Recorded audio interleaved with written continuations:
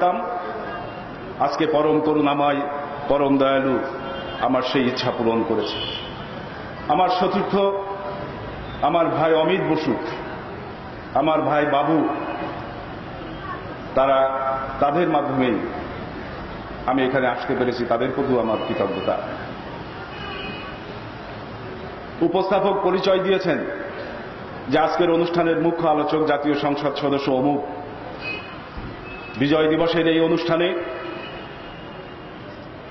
জাতির শ্রেষ্ঠ সন্তান মুক্তিযোদ্ধাদের সামনে আমার আজকের পরিচয়, আমার মরহুম পিতা মুক্তিযুদ্ধকালীন সময়ে তিনি গণপরিষদের সদস্য ছিলেন। তিনি প্রাদেশিক পরিষদের সদস্য ছিলেন। তিনি স্বাধীন বাংলাদেশের প্রথম এমপি ছিলেন। তিনি মুক্তিযোদ্ধা ক্যাম্পের পলিটিক্যাল অ্যাডভাইজার হিসাবে নয়, সশস্ত্র যোদ্ধা হিসাবে দুই শতাধিক মুক্তিযোদ্ধা নিয়ে সুইসাইড স্কোয়াড নিয়ে দেশের অভ্যন্তরে যুদ্ধ করেছেন। আমার ভাই মুক্তিযুদ্ধে শহীদ হয়েছেন। সেই কারণে মুক্তিযুদ্ধের কোনো অনুষ্ঠানে দাঁড়িয়ে আমি মুক্তিযোদ্ধাদের সম্বোধন করি, বাবারা আমার, ভাইয়েরা আমার। কারণ আমি মুক্তিযোদ্ধার সন্তান, আমি মুক্তিযোদ্ধার ভাই। আজকের এই আলোচনা সভার পরম শ্রদ্ধ সভাপতি, প্রধান অতিথি দেশের বরেণ্য শিক্ষাবিদ, এই জনপদের সবচেয়ে বড় বিদ্যাপীঠ চট্টগ্রাম বিশ্ববিদ্যালয়ের সম্মানিত উপাচার্য অধ্যাপক ডক্টর ইফতেখার উদ্দিন চৌধুরী, সম্মানিত আলোচকবৃন্দ, তরুণ প্রজন্মের অহংকার, ব্যারিস্টার, আমি দেখি উনিশশো সাতচল্লিশ সালে চোদ্দই আগস্ট বৃহস্পতিবার রাত এগারোটা উনষাট মিনিট, এক মিনিট পরে রাত বারোটা পনেরোই আগস্ট, শুক্রবার, এক মিনিটের ব্যবধানে লর্ড মাউন্ট ব্যাটন পাকিস্তান এবং ভারত নামক রাষ্ট্রের স্বাধীনতার দলিলে স্বাক্ষর করেন। পাকিস্তান যেদিন স্বাধীন হয়েছিল, সেদিন ছিল বৃহস্পতিবার। বাংলাদেশ যেদিন আজকে ষোলোই ডিসেম্বর বিজয় লাভ করল, সেদিনও ছিল বৃহস্পতিবার। কিন্তু এই দুই বৃহস্পতিবারের মধ্যে পার্থক্য ছিল চব্বিশ বছরের। এই চব্বিশ বছরে হে পিতা তোমার জন্মের কাছে আমরা ঋণী। তোমার সংগ্রামের কাছে আমরা ঋণী। তোমার রক্তের কাছে আমরা ঋণী। তোমার জীবনের কাছে আমরা ঋণী।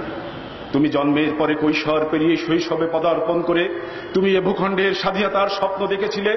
তুমি স্বাধীনতার স্বপ্ন দেখেছিলে বলে তুমি আমার পূর্বপুরুষদের বারবার সংগঠিত করেছ। আমার পূর্বপুরুষদের সংগঠিত করার অপরাধে তোমার জীবন এবং যৌবনের চোদ্দটি বসন্ত নির্জন কারাগারের দুঃসহ যন্ত্রণা সহ্য ভোগ করতে হয়েছে। আঠারোটি মামলায় কাঠগড়ায় দাঁড়াতে হয়েছে। দুই দুইবার ফাঁসির মঞ্চের সম্মুখীন হতে হয়েছে। আমরা এ প্রজন্ম যখন মুক্তিযোদ্ধাদের কাছ থেকে মুক্তিযুদ্ধের ইতিহাস শুনি, তখন ওই লন্ডনে বসে এক অর্বাচীন মুক্তিযুদ্ধের ইতিহাস বিকৃতি করে। মুক্তিযুদ্ধের ইতিহাস বিকৃতি করে উল্লাস করে। পাকিস্তানের সেই চব্বিশ বছরে যে বঙ্গবন্ধু এই বাংলা বাঙালির মুক্তির জন্য চোদ্দ বছর জেলখানায় ফাঁসির সম্মুখীন হলেন। আমি বীর চট্টলার জাগ্রত বিবেককে সাক্ষী রেখে আমি সেই অর্বাচীনদের বলতে চাই এভাবে। পাকিস্তানের সেই চব্বিশ বছরে আমরা জিয়া রহমানকে কীভাবে দেখেছিলাম, নতুন প্রজন্ম জানে না। এই জিয়া রহমান উনিশশো একান্ন সালে পাকিস্তান আর্মিতে কমিশন পান।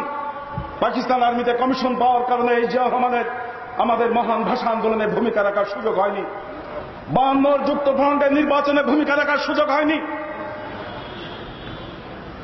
ছেষট্টির ছয় দফায় ভূমিকা রাখার সুযোগ হয়নি জিয়া রহমানের।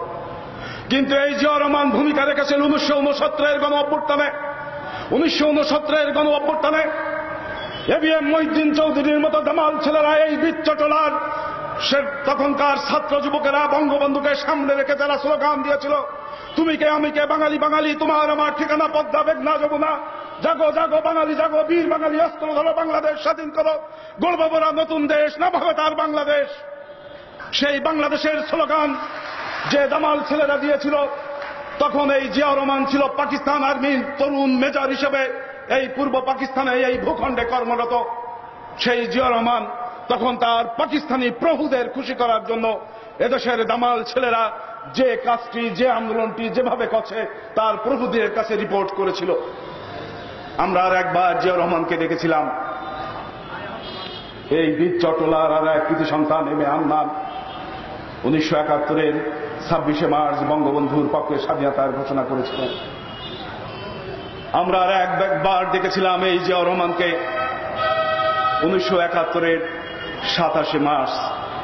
যিনি বলেছিলেন I major Zia hereby declare the independence of Bangladesh on behalf of our great national leader Bangabandhu Sheikh Mujibur Rahman.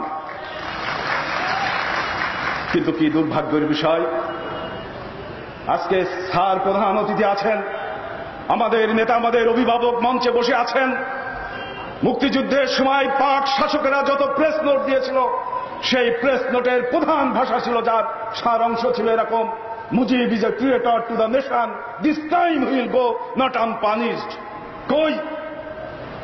তথাকথিত কোন স্বাধীনতার ঘোষকের জন্য কথা পাকিস্তানিরা বলে নাই।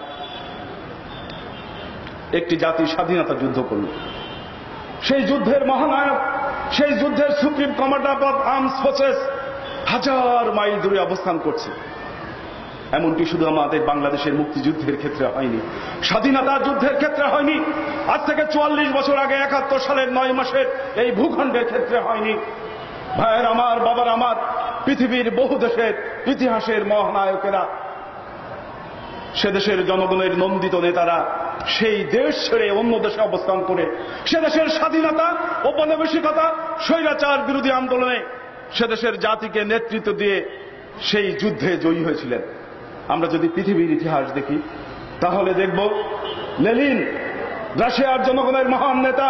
লেলিন তার প্রিয় দেশ রাশিয়া ছেড়ে জার্মানিতে বসে তার বিপ্লবী কর্মীদের সংগঠিত করে উদ্বুদ্ধ করে রাশিয়ার যার শাসনের পতন ঘটিয়েছিলেন।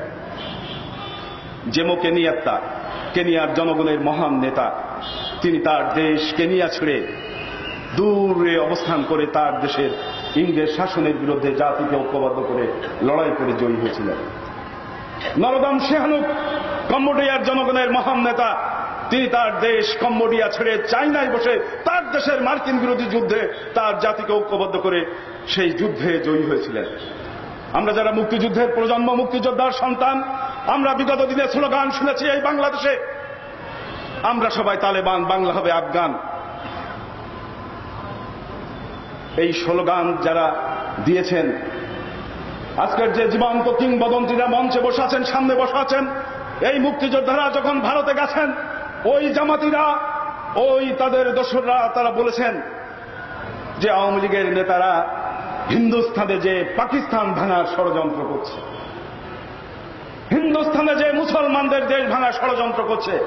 যে জামাতিরা এতদিন এই স্লোগান দিয়ে এসেছেন সেই জামাতি বন্ধুদের, আপনাদের সাক্ষী রেখে বলি, ও জামাতি ভাইরা শুনে যাও। তোমাদের ভাষায়, তোমাদের কথায় পৃথিবীতে একমাত্র দেশ, যেখানে ইসলামী বিপ্লব হয়েছে, তোমরা বলো। সেই ইসলামী বিপ্লবী দেশের নাম ইরান আর সেই দেশের নেতার নাম হজরত আইতুল্লাহ খামিনি। তিনি কিন্তু কোন মুসলমানদের দেশে আশ্রয় নেয়নি। ইহুদি, নাসারাদের দেশ, ফ্রান্সের রাজধানী প্যারিসে বসে তিনি তার ইসলামী বিপ্লবের কর্মীদের সংগঠিত করে সেদিন ইরানের শাহ সরকারের পতন ঘটিয়েছিলেন তেমনি সারা দুনিয়ার, সারা পৃথিবী মজলুম জনগণের মহান নেতা নেলসন ম্যান্ডেলা, তাকে তার দেশের সেই শাসকেরা, শ্বেতাঙ্গরা দূর নির্জন পাহাড়ের মধ্যে, গহীন পাহাড়ের মধ্যে কারাগার বানিয়ে, জেলখানা বানিয়ে, দিনের পরে দিন, সপ্তাহ পর সপ্তাহ, মাসের পর মাস, বছরের পর বছর, যুগের পর যুগ বন্দী রেখেছিলেন নেলসন ম্যান্ডেলাকে। কিন্তু বীর নেলসন ম্যান্ডেলার অনুসারীরা লড়াই করে রক্ত দিয়ে, জীবন দিয়ে সাতাশ বছর পরে আফ্রিকার শেষ শাসনের পতন ঘটিয়েছিলেন। তেমনি জাতির জনক বঙ্গবন্ধু শেখ মুজিব উনিশশো একাত্তরের সাতই মার্চ তিনি বলেছিলেন, আমি যদি হুকুম দিবার নাও পারি, তোমাদের যার কাছে যা কিছু আছে তাই নিয়ে প্রস্তুত থাকবে। মনে রাখবে, রক্ত যখন দিয়েছি, রক্ত আরও দেব। এদেশের মানুষকে মুক্ত করে ছাড়বো ইনশাল্লাহ। এবার এই সংগ্রাম আমাদের মুক্তি সংগ্রাম। এবার এই সংগ্রাম স্বাধীনতা সংগ্রাম। সেই মহান সংগ্রামের আহ্বানে সারা দিয়ে এই বীর চট্টলার, সেই মরহুম Zahur Chowdhury, M A Hannan, Abdul Aziz, A B M Mohiuddin চৌধুরীরা সেদিন দামাল ছেলেরা হাতের কলম ছুড়ে দিয়ে হাতে রাইফেল তুলে নিয়েছিল। সেদিনকার শ্রমিক কারখানার সেই কাস্তে হাতুড়ি ফেলে দিয়ে হাতে রাইফেল তুলে নিয়েছিল। সেদিনকার বীর চটলার কৃষকেরা লাঙলের তাড়া ফেলে, পাচুনি ফেলে দিয়ে হাতে রাইফেল তুলে নিয়েছিল। মায়ের আচলের মায়া ছড়ে দুঃখিনী বাংলা মায়ের ঋণ পরিশোধ করতে ঝাঁপিয়ে পড়েছিল এই রূপসী বাংলার পথে প্রান্ত কখনো পথে, কখনো ঘাটে, কখনো বনে, কখনো জঙ্গলে, কখনো পাহাড়ের টিলায়, কখনো মাটির ব্যাংকারে ব্যাংকারে এই মুক্তিযোদ্ধারা লড়াই করেছেন, যুদ্ধ করেছেন। ইত্য অবসরে গান গেয়েছেন। সংগীত মোরা একটি ফুলকে বাঁচাবো বলে যুদ্ধ করি, মোরা একটি মুখের হাসির জন্য যুদ্ধ করি। যে বঙ্গবন্ধুর নেতৃত্বে, যে বিজয়ের মহানায়কের নেতৃত্বে মুক্তিযোদ্ধারা লড়াই করে, সতেরোশো সাতান্ন সালের পলাশির আম্র কাননে স্বাধীনতার যে সূর্য অস্ত গিয়েছিল, সেই সূর্য আবার বাংলার পূব আকাশে রক্ত লাল হয়ে নতুন করে উদিত হয়েছিল হে পিতা, তুমি আজ নেই। হে বিজয়ের মহানায়ক, তুমি আজ নেই। কিন্তু তোমাকে নিয়ে যখন ওই অর্বাচীনেরা ইতিহাস বিকৃতি করে, তখন মুক্তিযোদ্ধার সন্তান হিসাবে আমরা কষ্ট পাই, আমরা দুঃখ পাই, আমরা বেদনা পাই। দেশ স্বাধীন হল উনিশশো একাত্তরের আজকের দিনে, ষোলোই ডিসেম্বর। কিন্তু বিজয়ের মহানায়ক তখনও পাকিস্তানের কারাগারে বন্দী। যে পাকিস্তানের শাসকেরা সেই মেয়ানালি কারাগারের পাশে কবর খুঁড়ে জানালা দিয়ে কবর দেখে বলেছিল, শেখ মুজিব, তুমি তোমার স্বাধীনতার প্রশ্ন থেকে আপোষ করো, তাহলে তুমি তোমার প্রাণ ভিক্ষা পাবে, জীবন ভিক্ষা পাবে। সেদিন বাংলা বাঙালি প্রিয় সন্তান, এ বাংলা রাখাল রাজা। বঙ্গবন্ধু সেদিন পাকিস্তানি শাসকদের রক্ত চক্ষু উপেক্ষা করে বলেছিল, আমি শেখ মুজিব, আমি মুসলমান মুসলমান একবার জন্মে, একবার মরে। তোমরা আমার হত্যা করো। আমার মৃত্যুদণ্ড দাও, আমার ফাঁসি দাও, আমার দুঃখ নাই, কষ্ট নাই। কিন্তু আমার মৃত্যুর পরে আমার লাশটি, আমার মরদেহটি, আমার স্বপ্নে সোনার বাংলায়, আমার সোনার মানুষের কাছে পাঠিয়ে দিও। বাংলার কোন গ্রামের ধান খাতের পেশের কিংবা বাস বাগানে আমার কবর দিলেই চলবে, আমি সেই কবরে শুয়ে যেন আমি বাংলার সোনালী ফসলের গ্রাম পাই। বাংলার দোয়েল শ্যামা, লক্ষ্মী পেঁচা, ঝিঝি পোকার গান শুনি। বাংলা বাঙালির সেই প্রিয় সন্তান শেখ মুজিব আজ আমাদের মাঝে নেই। দেশ স্বাধীন হল ষোলোই ডিসেম্বর। তিনি পাকিস্তান কারাগার থেকে ছাড়া পেয়ে বাংলাদেশে আসার আগে তিনি লন্ডনে আসলেন। সেদিন ছিল উনিশশো বাহাত্তর সালের আটই জানুয়ারি। আটই জানুয়ারি ছিল ক্যালেন্ডারের পাতায় শনিবার। শনিবার হচ্ছে ব্রিটিশদের সরকারি ছুটি। ব্রিটিশ প্রধানমন্ত্রী এডওয়ার্ড হিথ ব্রিটিশ বিরোধী দলের নেতা হ্যারন উইলসন দুজনই লন্ডনের বাইরে ছিলেন। ব্যারিস্টার নৌফেল আমার সে আরও লন্ডনের রাজনীতি সম্পর্কে আরও ভালো জানেন। বঙ্গবন্ধুর আগমনের কথা শুনলেন। দুজনই অবকাশ ছুটি বাতিল করে লন্ডনে ফিরলেন। বঙ্গবন্ধুকে রাখা হয়েছিল লন্ডনের শুধু বিলাসবহুল নয়, তৎকালীন সময়ে সারা পৃথিবীর সবচেয়ে দামি এবং বিলাসবহুল হোটেল হোটেল ক্লারিজেসে। বঙ্গবন্ধুকে আনা হয়েছিল ব্রিটিশ রাজ পরিবারের রাজকীয় বিমানে। উপস্থিত বাবার আমার, ভাইয়ের আমার, মায়ের আমার, বোনের আমার। শুনে রাখুন, সেই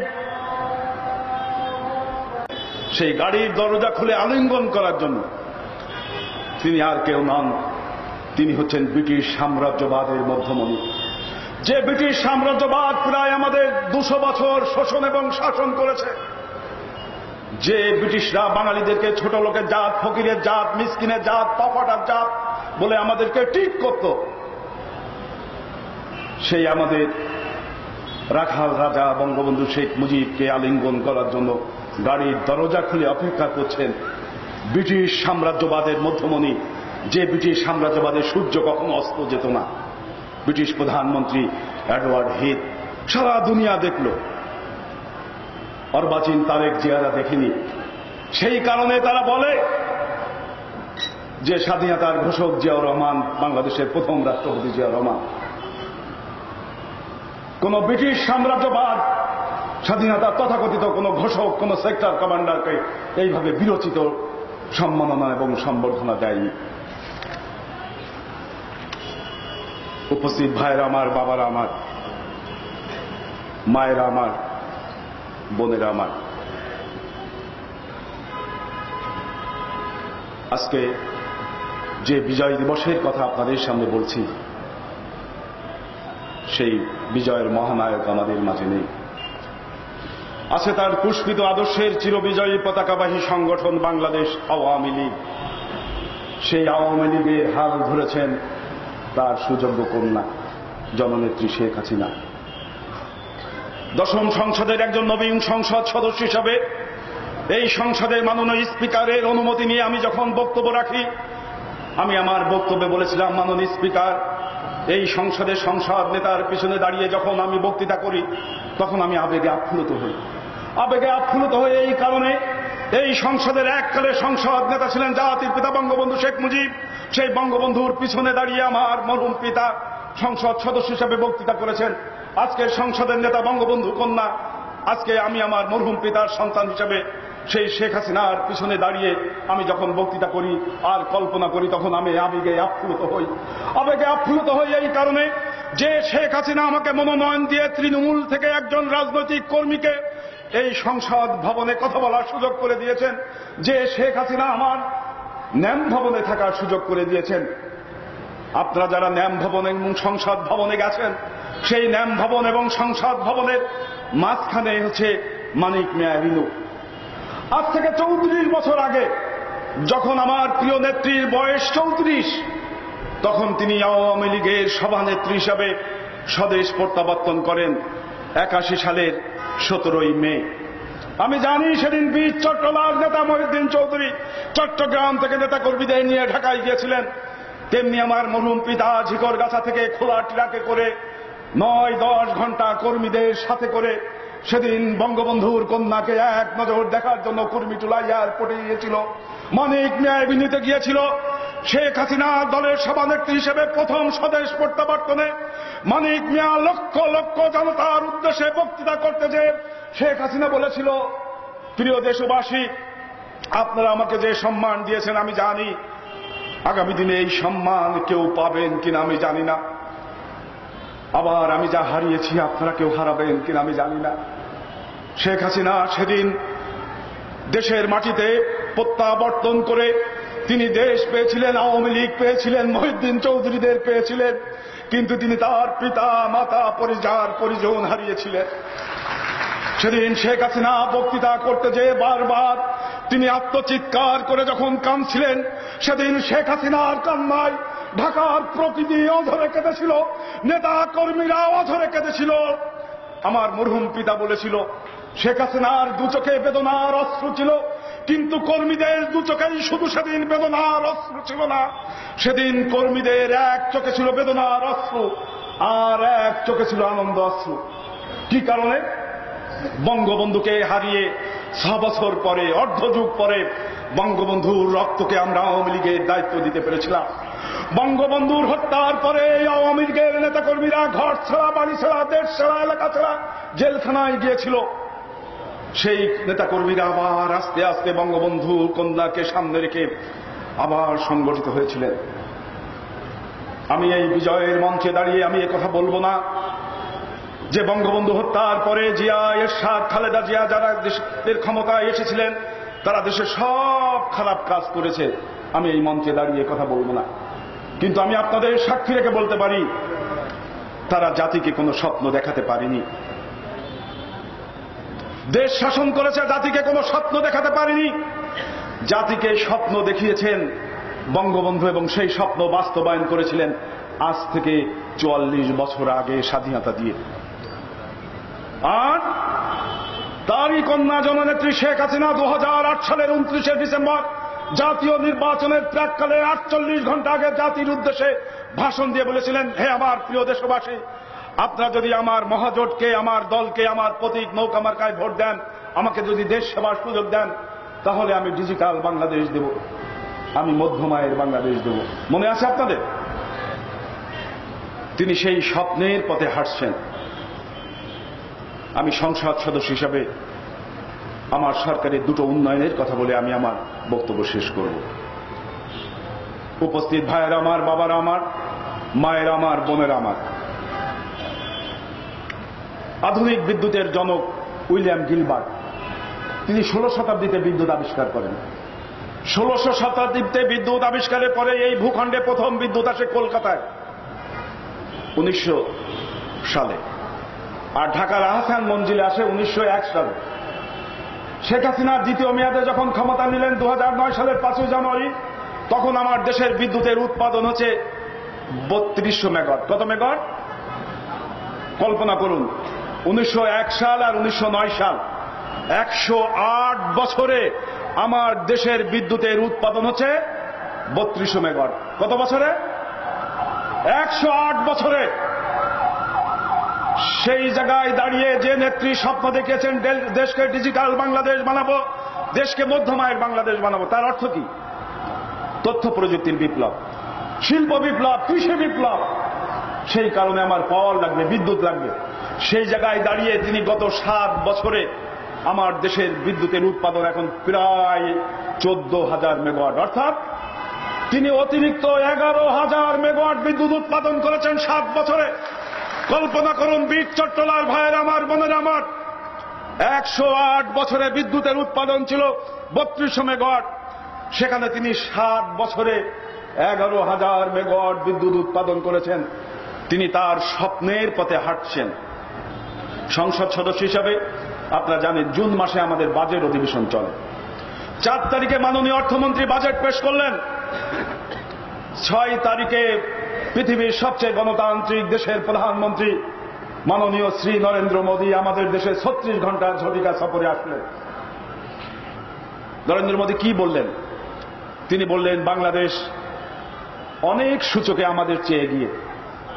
ঢাকা বিশ্ববিদ্যালয়ের আয়োজনে তিনি এক জনবক্তৃতায় বললেন যে, আমি একশো পঁচিশ কোটি দেশের প্রধানমন্ত্রী। আমি চীনে গেছি। চীনের একজন শীর্ষস্থানীয় ব্যবসায়ী আমাকে বলেছে, তুমি কি খবর রাখো? তোমার প্রতিবেশী দেশ, তারা গার্মেন্টস সেক্টরে পৃথিবীর দ্বিতীয় বৃহত্তম অর্থনৈতিক শক্তি। নরেন্দ্র মোদী তার বক্তৃতায় বলছেন, আমরা তোমাদের প্রতিবেশী। তোমাদের এখানে সূর্য আগে ওঠে। সেই সূর্যের কিরণ যেমন আমরা পাই, তেমন তোমাদের অর্থনৈতিক সূচক, তোমাদের সামাজিক সূচকের ভালো খবরগুলো আমরা পাই। সেই নরেন্দ্র মোদীর কাছে খালেদা জিয়া দেখা করলেন। দেখা করে খালেদা জিয়া কি বললেন? বললেন, বাংলাদেশে গণতন্ত্র নাই, আইনের শাসন নাই। কি অদ্ভুত ব্যাপার। কে বললেন? খালেদা জিয়া। কোন Khaleda Zia? BNP chairperson Khaleda Zia. কোন বিএনপি? যে বিএনপির প্রতিষ্ঠাতা বঙ্গবন্ধুর খুনি জিয়াউর রহমান। উনিশশো পঁচাত্তরের পনেরোই আগস্ট। বঙ্গবন্ধু হত্যাকাণ্ডের সবচেয়ে বড় বেনিফিশিয়ারি দল, বিএনপি, ব্যক্তি জিয়াউর রহমান, তারা বলছে দেশে আইনের শাসন নাই, গণতন্ত্র নাই। ভাইয়ের আমার, বাবার আমার, উনিশশো পঁচাত্তরের পনেরোই আগস্ট, বঙ্গবন্ধুর হত্যার পরে এই হত্যার বিচার হবে না বলে আইন করা হয়েছিল। হত্যাকারীদেরকে পুরস্কৃত করা হয়েছিল প্রমোশন দেওয়া হয়েছিল, পুনর্বাসিত করা হয়েছিল, ইতিহাস বিকৃতি করা হয়েছিল। কিন্তু যারা বলছে দেশে গণতন্ত্র নাই, আইনের শাসন নাই, সেই বিএনপির যারা আন্দোলনের পার্টনার ক্ষমতার পার্টনার, রাজপথের পার্টনার, যারা আল্লাহর আইন চায় সৎলোকের শাসন চায়। আল্লাহর আইন পবিত্র কোরআনে ইসলাম পঁয়তাল্লিশ নম্বর আয়াতে বলছে বিসমিল্লাহ রহমানের রাহিম। অকাতে ফিহান নাম নফসা বিন নফস। নফসের বদলে নফস, জানের বদলে জান, খুনের বিচার খুন, চোখের বদলে চোখ, নাকের বদলে নাক কানের বদলে কান, পবিত্র কোরআন বলছে।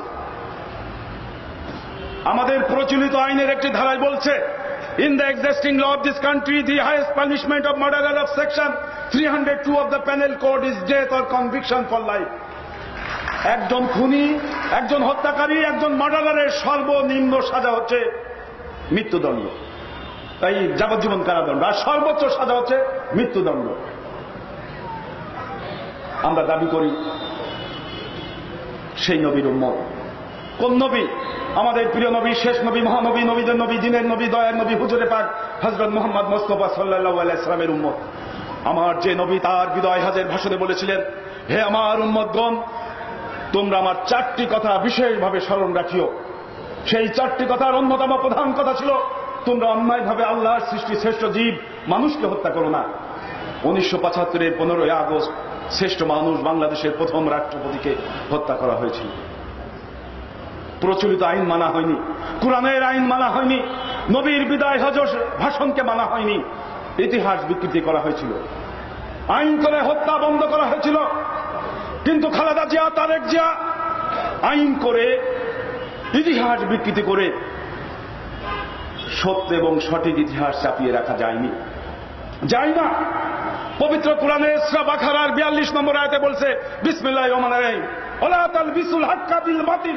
ও তুমুল হাক্কা আনতুম তালামুন। সত্যকে মিথ্যা দিয়ে ঢেকো না, আর জেনে শুনে সত্য গোপন করো না। যেমন, সত্য গোপন করা যায়নি আমাদের পবিত্র ইসলামের ইতিহাসে। যারা সারা জীবন আমাদের নবী করিম সাল্লাহ সাল্লামকে বিরোধিতা করে টিকে থাকতে পারে না সেই আবু সুফিয়ান রেজিদ সিমারেরা তার মৃত্যুর পরে তার বংশের প্রতি চরম এবং পরম প্রতিশোধ নিয়েছিল।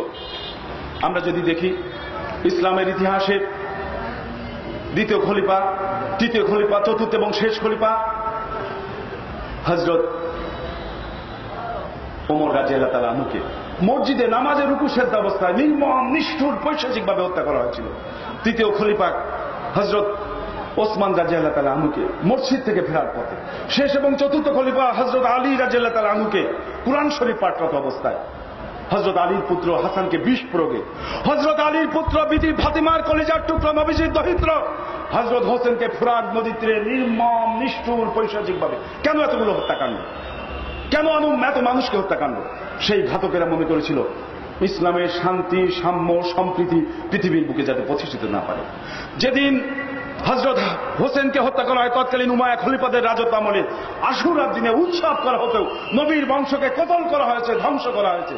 কিন্তু দুশো বছর পরে এই মুসলমানেরা প্রকৃত ইতিহাস, সত্য ইতিহাস জানলো, চোখের পানি ফেলতে শুরু করল, মার্শিয়া গাইতে শুরু করল। সেই চোখের পানি, সেই মার্শিয়া আজও শেষ হয়নি। কেয়ামত পর্যন্ত শেষ হবে না।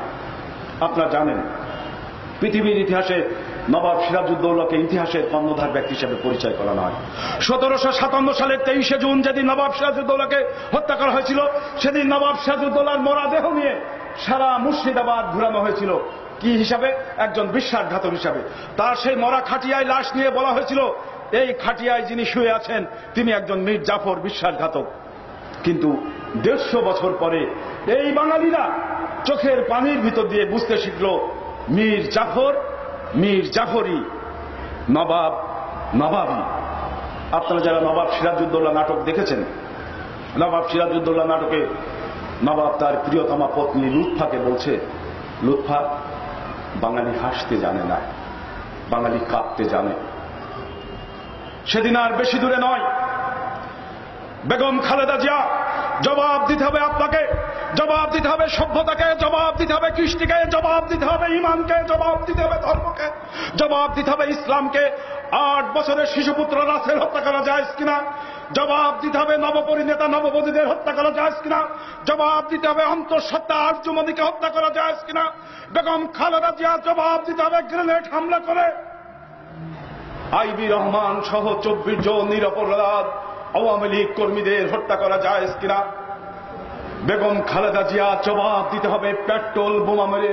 আমার মেয়ে মাইশা সহ দেড়শো জন বাস, ট্রাকের ড্রাইভার, হেল্পার, সাধারণ মেহনতি মানুষকে হত্যা করা যায় কিনা? নরেন্দ্র মোদী আসলেন আর বললেন, দেশে গণতন্ত্র নাই, আইনে শাসন নাই। এ কথা বিশ্বাস করে না। আমি যখন চট্টগ্রামে এসেছি, তখন আমি আবেগে গাফলুত হয়েছি। ভাইয়ের আমার, বাবার আমার, আপনারা জানেন এই বছরের তেসরা ফেব্রুয়ারি এই কক্সবাজার থেকে আইকন পরিবহনে এই চট্টগ্রামের পর দিয়ে যাচ্ছিল যশোরে আমার ভাই এবং আমার ভাতিজি মাইশা। মাইশা ক্লাস ফাইভে এইটে ট্যালেন্ট পুলে বৃত্তি পেয়েছে। টেনে পড়ত। অত্যন্ত মেধাবী ডাক্তার হতে চেয়েছিল। অত্যন্ত মেধাবী মেয়ে। যশোর পুলিশ লাইন স্কুলে পড়তো। খালেদা জিয়ার অবরোধে স্কুল বন্ধ, ক্লাস হয় না, মেয়ে বাইনা ধরলো, বাবা, তোমার ঠিকাদারি কাজ কক্সবাজারে চলছে, আমি কক্সবাজারে যাব। মেয়ের বাইনা রাখতে যে বাবা, মেয়ে এবং মেয়ের মাকে নিয়ে কক্সবাজারে গেল। যেদিন ফিরে যাবে সেদিন কক্সবাজারের সেই সমুদ্র সৈকতের ইনানি সিবিসে সেই জীবন্ত পাথরের উপরে বসে মা এবং বাবার মাঝখানে বসে মা মাইশা, আমাদের মেয়ে মাইশা ছবি তুলে শেখ হাসিনার ডিজিটাল বাংলাদেশের কল্যাণে ফেসবুকে আপলোড করল। আমরা সাথে সাথে শেষ বিকালে সেই ছবি দেখলাম। আমাদের ফুটফুটে মেয়ে মাইশা, সে বাবা মার সাথে ছবি তুলে পাঠিয়েছে। রাতের আইকন পরিবহনে কক্সবাজার থেকে চট্টগ্রাম হয়ে ভোর রাতে যখন কুমিল্লার চোদ্দ গ্রামে সেই পরিবহন পৌঁছালো, তখন সেই পরিবহন থেকে ভোর রাতে একটি মানুষ নামলো। পায়জামা, পাঞ্জাবি পরা, মাথায় টুপি, মুখে দাড়ি। মাইশার মা আমাদের মিতা ভাবি, আমার ভাই পপলুকে বলল, মাইশার বাবা, এই লোকটি কেন এই ভোর রাত এখানে নামলো? আমার গার মধ্যে সমসম করছে। মাইশার বাবা বলল, ওই লোকটির বাড়ি হয়তো এখানে, সেই কারণে উনি এখানে নেমেছেন। ভাইয়ের আমার, বাবার আমার, সেই গাড়ি কিছু দূর যেতে না যেতেই, সেই গাড়িতে পেট্রোল বোমার মুহুর মুহুর আক্রমণ মুহূর্তের মধ্যে গাড়িতে আগুন ধরে গেল। বুদ্ধি করে আমার ভাই পপলু, আমার মিতা ভাবিকে বাসের জানালায় লাথি মেরে জানালা ভেঙে দিয়ে সেই জানালা দিয়ে তার স্ত্রীকে লাথি মেরে বাইরে বের করে দিল। বলল, তুমি বেরো, আমি মেয়ে মাইশাকে নিয়ে বেরোচ্ছি। মা মাটিতে পড়ে দেখল, মাইশা এবং তার স্বামী জড়াজড়ি করছে। বেরোতে পারছে না। মুহূর্তের মধ্যে, সেকেন্ডের মধ্যে আগুনে দগ্ধ হয়ে বাসের মধ্যে সাতজন মানুষ মারা গেল। মারা গেল আমার ভাই নুরুজ্জামান পপলু, মারা গেল আমার মেয়ে, আমার ভাইজি মাইশা। আমি সেদিন সংসদে পয়েন্ট অফ অর্ডারে দাঁড়িয়ে কথা বলেছিলাম। আমি জানা যায় যেতে পারিনি। আমি মিলাদে গিয়েছিলাম। আমি মিলাদে গিয়েছিলাম। আমি সান্ত্বনা দিতে মিতা ভাবিকে। উপস্থিত ভাইয়ের, আমার বাবার আমার আমি সান্ত্বনা দিতে পারিনি। আমি আমার নিজের অশ্রু সংবরণ করতে পারিনি, মিতা ভাবির কান্নায়। বলল, ভাই, যে মেয়ে ডাক্তার হতে চেয়েছিল, সেই মেয়েকে আমি ডাক্তারি চিকিৎসা করাতে পারিনি। আপনার ভাই আমার পরিবারের এক উপার্জন সক্ষম ব্যক্তি, তাকে বাঁচাতে পারেনি। সারা শরীর পুড়ে অঙ্গার হয়ে গেছে। মানুষ চেনার উপায় ছিল না। ডাক্তার কোনো চিকিৎসা করতে পারেনি ভালো কিন্তু দুটো জায়গা পড়েনি। আমার মেয়ে এবং আমার স্বামীর বুক পিতা এবং কন্যা জড়াজড়ি করেছিল, বুকে জড়াজড়ি করে। সারা শরীর পড়ে গেছে, তাদের বুক পড়েনি। আর আমার ভাই পাপলু, তিনি পরেশগার মানুষ ছিলেন। সব সময় পকেটে টুপি আর তসবি থাকত। টুপি পড়ে গেছে, তসবি পড়ে নাই। এই দুটো জিনিস তাদের পড়ে নাই। খুব পরেশগার মানুষ ছিল। তাবলিগে যেতেন পাঁচক্ত নামাজ, তাকবিরুল্লাহর সাথে পড়তেন, চিল্লায় যেতেন। কি জবাব দিবেন বেগম খালেদা জিয়া? আমার মেয়ে মাইশা, আমার ভাই পপলু পাঁচ অক্ট নামাজ তাকবিরুল্লাহর সাথে পড়তো, ইমামের পিছনে নামাজ পড়তো, রুকু সেজদায় যেত, সালাম ফিরত সালাম ফিরে আল্লাহর কাছে দুহাত তুলে মুনাজাত করত, তার পরিবারের জন্য, তার মেয়ের জন্য। সেই হাত আপনার পেট্রোল বোমায় অঙ্গার হয়ে আমার ভাই, আমার মেয়ে, আমার দেশের মানুষকে আপনি পুরায় মানলেন কি জবাব দিবেন বেগম কালেদা জিয়া? আর আপনি নরেন্দ্র মোদীর কাছে নালিশ করেন, দেশে গণতন্ত্র নাই, আইনের শাসন নাই। এই বিজয় দিবসে দাঁড়িয়ে জাতির শ্রেষ্ঠ সন্তান, মুক্তিযোদ্ধাদের সাক্ষী রেখে শুধু এভাবে বলব, আসুন।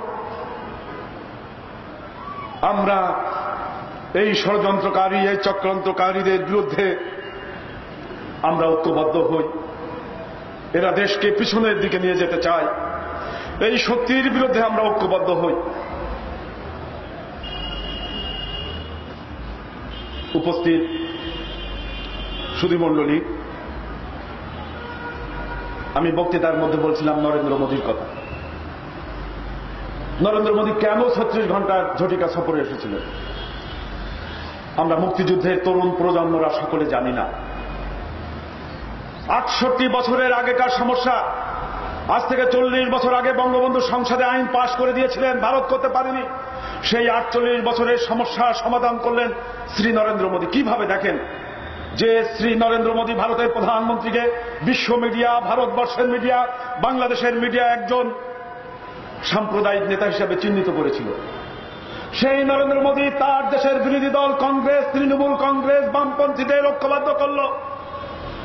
তিনি তার মন্ত্রিসভায়, লোকসভায় রাজ্যসভায় সবাইকে ঐক্যবদ্ধ করল আইন পাশ করলেন। আটষট্টি বছরের সমস্যার সমাধান শেখ হাসিনার সফল কূটনৈতিক তৎপরতার কারণে। আপনারা কি জানেন, নরেন্দ্র মোদী ছুটে এসেছিল একটি দলিল দিতে? শেখ হাসিনার কাছে একটি দলিল দিতে একশো পঁচিশ কোটি দেশের প্রধানমন্ত্রী। তিনি তো পারতেন সতেরো কোটি দেশের প্রধানমন্ত্রীকে তার দেশে আমন্ত্রণ করে ডেকে নিয়ে যেতে। কিন্তু তিনি তা করেননি বঙ্গবন্ধু কন্যাকে। পৃথিবীর তেরোতম শ্রেষ্ঠ চিন্তাবিদকে সম্মান জানানোর জন্য শ্রী নরেন্দ্র মোদী, তিনি সেই দলিল দিতে এসেছিলেন। উপস্থিত ভাইয়ের আমার, বাবার আমার, সেই দলিলের মধ্যে তিরিশ হাজার একশো পঞ্চাশ বিঘে জমি আমাদের বেশি দিয়ে, ভারত আমাদেরকে বেশি দিয়ে চিরজীবনের মতো, কিয়ামতের মতো সেই স্থায়ী ছিটমহলের সমস্যার সমাধান করে দিয়ে গেছে। এটা শেখ হাসিনার কারণে। যে বঙ্গবন্ধুর নেতৃত্বে আজ থেকে যে এবিএম মহিদ্দিন চৌধুরীরা মুক্তিযুদ্ধ করে পঞ্চান্ন হাজার বর্গ মাইলের বাংলাদেশ পেয়েছিল, সেই বাংলাদেশ যদি আমি ধরি একশো হাতের বাংলাদেশ, সেই বাংলাদেশ নিতে যেয়ে আমাদের তিরিশ লাখ শহীদের রক্ত গেছে, আমার তিন লক্ষ মামুনের সর্বোচ্চ সম্মান, ইজ্জত গেছে। কিন্তু শেখ হাসিনা রক্ত ছাড়া, সম্ভ্রম ছাড়া, জীবন ছাড়া তিনি আন্তর্জাতিক আদালতে লড়াই করে বার্মা এবং ভারত সীমান্তে আমরা প্রায় বাংলাদেশের মতো আরেকটি বাংলাদেশ পেয়েছি, সমুদ্র সীমানার মধ্যে কল্পনা করতে পারে আজকে সেই শেখ হাসিনা জাতিকে স্বপ্ন দেখিয়েছেন মধ্যমায়ের দেশ করবে। আপনাদের মনে আছে না? এই খালেদা জিয়ার লবিস নিয়োগের কারণে বিশ্ব ব্যাংক শেখ হাসিনাকে বলল, তোমার পদ্মা সেতুতে দুর্নীতি হয়েছে। আমরা টাকা প্রত্যাহার করব। শেখ হাসিনা বলল, তোমরা টাকা ছাড় করলে না, কাজ শুরু হলো না। কিসের দুর্নীতি? বলল, না, দুর্নীতি হয়েছে। তা বলল, কি করতে হবে? বলো সুষ্ঠু তদন্ত। তা আমার কি করতে হবে? তোমার যোগাযোগ মন্ত্রী এবং যোগাযোগ সচিবকে পদ থেকে সরাই দিতে হবে। মনে আছে আপনাদের? মনে আছে ভাই সাহেব? শেখ হাসিনা কিন্তু তার মন্ত্রী সৈয়দ আবুল হোসেনকে এবং সচিবকে সরাই দিল। বিশ্ব ব্যাংক তদন্ত করল। কানাডার আন্তর্জাতিক আদালতে মামলা হলো। কোন দুর্নীতির প্রমাণ করতে পারিনি। সেই বিশ্ব ব্যাংক শেখ হাসিনাকে বলল, এবার তুমি টাকা নাও। বাপের বাটি শেখ হাসিনা! বলল, তোমার টাকায় আর পদ্মা সেতু করব না, আমি আমার নিজের টাকায় করব। সেই পদ্মা সেতু এই বারো তারিখে উদ্বোধন করেছে ব্যারিস্টার নৌফিল বলেছেন। খালেদা জিয়ার মাথা খারাপ হয়ে গেছে। সেই পদ্মা সেতু তিরিশ হাজার কোটি টাকার বাংলাদেশের সর্বোচ্চ একক প্রকল্প। সেই বিশ্ব ব্যাংক যারা দুর্নীতির অভিযোগে টাকা ফেরত দিল, সেই বিশ্ব ব্যাংক এবছরের পয়লা জুলাই সার্টিফিকেট দিল বাংলাদেশের প্রধানমন্ত্রী শেখ হাসিনার হাতে। বলল, শেখ হাসিনা, তোমার দেশ এখন তলাবিহীন চুরি না তোমার দেশ এখন নিম্ন আয়ের দেশ না, তোমরা এখন নিম্ন মধ্যম আয়ের দেশ। সেই বিশ্ব ব্যাংক তাহলে যে শেখ হাসিনা তার স্বপ্নের পথে হাঁটছেন, আসুন আমরা সেই শেখ হাসিনার জন্য আমরা দোয়া করি। সেই শেখ হাসিনাকে আমরা মুক্তিযোদ্ধার সন্তানেরা সহযোগিতা করি। আমি আমার বক্তব্যের শেষ অংশে শ্রী নরেন্দ্র মোদীর একটি উক্তি দিয়ে আমি আমার বক্তব্য এভাবে শেষ করতে চাই। ভাইয়ের আমার, বাবার আমার, শ্রী নরেন্দ্র মোদী যখন ছত্রিশ ঘণ্টা সফর শেষে প্লেনে উঠলেন, তার আগে তার ফেসবুক এবং টুইটার বার্তায় তিনি স্ট্যাটাস দিলেন। তিনি লিখলেন বঙ্গবন্ধু শেখ মুজিব আমাদের সময়কার মহান নেতা। বঙ্গবন্ধু শেখ মুজিব গণতন্ত্রের প্রতিমূর্তি। কে বললেন? ভারতের প্রধানমন্ত্রী শ্রী নরেন্দ্র মোদী। সেই বঙ্গবন্ধুকে নিয়ে কত কবি, কত কবিতা লিখেছেন। আমি আমাদের দেশের একজন শ্রেষ্ঠ কবির কবিতার শেষ অংশ দিয়ে আমি আমার বক্তব্য শেষ টানতে চাই। একটি কবিতা পড়া হবে। তার জন্য কি ব্যাকুল প্রতীক্ষা মানুষের? কখন আসবে কবি? কখন আসবে কবি? শত বছরের শত সংগ্রাম শেষে রবীন্দ্রনাথের মতো দীপ্ত পায়ে হেঁটে অতপর কবি এসে দাঁড়ালেন জনতার মঞ্চে। তখন পলকে কি দারুণ ঝলকে তরিতে উঠিল জল, হৃদয়ে লাগিল দোলা, সমুদ্রে লাগিল জোয়ার, সকল দোয়ার খোলা। কেরোধে তাহার বজ্রকণ্ঠ বাণী গণসূর্যের মঞ্চ কাঁপিয়ে কবি শোনালেন তার অমর কবিতা খানি এবারে সংগ্রাম, আমাদের মুক্তির সংগ্রাম। এবারের সংগ্রাম, স্বাধীনতার সংগ্রাম। সেই থেকে স্বাধীনতা শব্দটি আমাদের। আজ থেকে চুয়াল্লিশ বছর আগে বঙ্গবন্ধু যে স্বাধীনতার স্বপ্ন বাস্তবায়ন করেছিলেন, সেই বঙ্গবন্ধুর কন্যা, সেই স্বাধীনতার পঞ্চাশ বছরের অর্থাৎ একুশ সালে সেই দেশকে মধ্যমায়ের দেশে নিয়ে যাবে। আসুন, আমরা চট্টগ্রামের এই বিজয় মেলার জনক আলহাজ এ বি এম মহিউদ্দিন চৌধুরীর নেতৃত্বে এই বীজ চটলার নতুন প্রজন্ম, নবীন প্রবীণ প্রজন্ম, আমরা শেখ হাসিনার সেই সপ্তাহের পথে আমরা সারথি হই। আজকের এই বিজয় মেলায় এই হোক শপথ। জয় জয় জয় বাংলা। জয় হোক চট্টলাবাসী। জয় হোক এই বিজয় মেলা।